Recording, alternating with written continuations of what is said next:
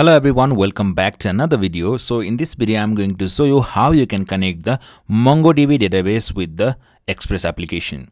So for that, let me just simply uh, open the MongoDB Compass. So if you haven't installed MongoDB and MongoDB Compass, so I have got separate video for that as well.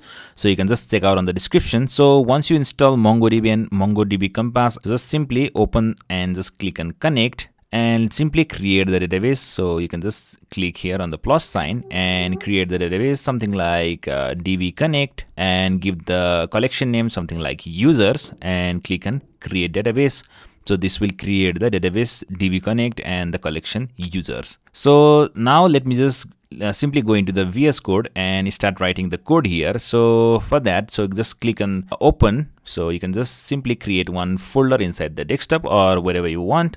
So let me just uh, say something like db connect app and just click on enter and click on open. So this will open this uh, db connect here. So let me just open the terminal and simply type npm init to initialize the application so you can just give the package name uh, as default and click enter so you can just give the description something like connect mongodb with express and just click enter and just click enter.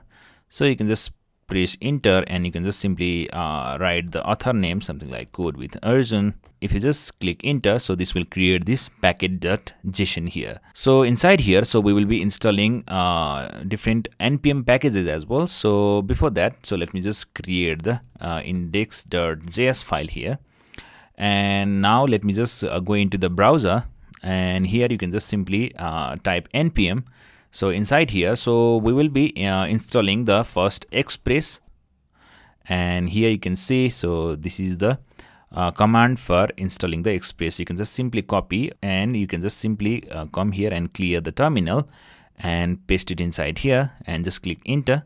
So this will install the package inside these dependencies here so once you install the Express, so we just have to install the Mongoose as well. So you can just similarly source Mongoose here as well. So you will be able to see the instruction here or you can just simply type from here as well. So you can just type npm install mongoose so mongoose is basically a object modeling tool so just install the mongoose similarly so we will also install the env so env is basically for loading the environment variable from env file so just type npm uh, install .env and just click enter. So this will install the .env as well. Similarly, we will also install the dev dependency called nodemon, so which will help us to uh, restart the application when there is some file changes. So just go into this nodemon here. So if you just scroll down, so you can see, so you can just copy this line from here and simply paste here. So this will install it as a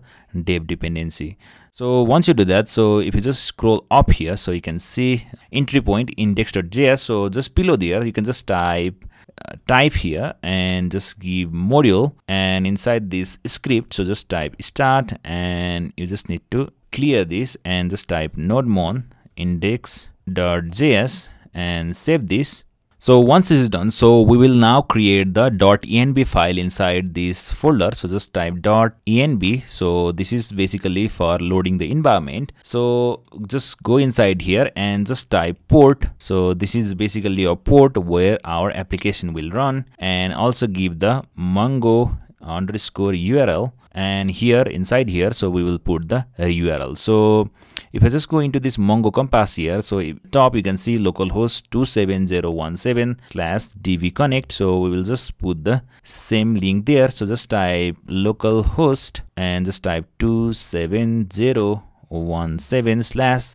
and the database name is db connect which we have created at the beginning of the video. So this is db connect. And just before this localhost so we just need to type mongodb column slash slash. So once you put the mongodb url so just go into the index.js file here and just start importing the npm packages. So just import express from express and similarly just import mongoose from mongoose. And similarly we just have to import the .env uh, which is basically for loading the environment variable from .env file. So just type import .env from .env so now just create an express app instance. So just type const app just give equals express and just below there. So we just need to load the environment variable so for that just type dot env dot config. So now we can get the port and mongodb url just by typing const port just create a variable and just type process dot env dot port which is the name we have given. And by default we can just give the uh, default port. So if any port which is using 8000 you can just give the uh, other alternative port as well. And also just type const mongo url for that we can just type process dot env dot uh, and we can see mongo url copy this mongo url and paste inside here. So this is how we can get the port and MongoDB URL from the .env file. So now let's connect our MongoDB with Express using Mongoose. So just type mongoose.connect and just give the Mongo URL from here and just type dot then and so if the connection is successful so we can just give the message something like console dot log and just type something like database is connected successfully. And also let's start the express server on the specified port. And we can also log the running status on the console. So just type app.listen so just type app.listen and just type the port and just give the message something like console dot log and just type something like server is running on port and you can just uh, print the port number by just typing dollar and just type port and so this will uh, print this port as well. So similarly if there is any error you can just catch the error by typing error and just write the console dot log error. So once this is done so i think uh, it will be enough for us to connect with the database.